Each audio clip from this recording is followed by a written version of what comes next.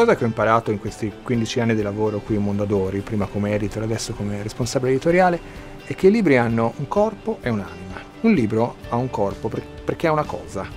Questo a prescindere dal fatto che sia cartaceo o digitale. È una cosa che ha un aspetto, che ha un costo di realizzazione, che ha un prezzo di vendita, ha delle esigenze eh, produttive e di distribuzione, ha come dire un attrito. Però ho imparato che uh, un libro ha anche un'anima ed è fondamentale per chi fa questo mestiere saperla cogliere e trattare. Selezionare un libro da pubblicare significa capire se un testo ha o meno un'anima, qualcosa che gli vibra dentro, che lo rende notevole, speciale.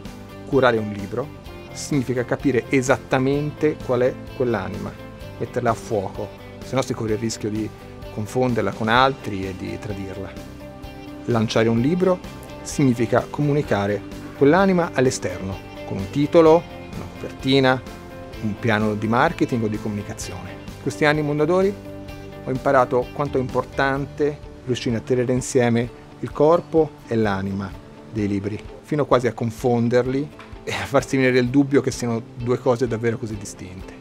Uno degli aspetti più affascinanti del mestiere editoriale è che non si riesce mai a comprenderlo fino in fondo e d'altra parte è quello che, che succede con le persone più interessanti, con le poesie più belle.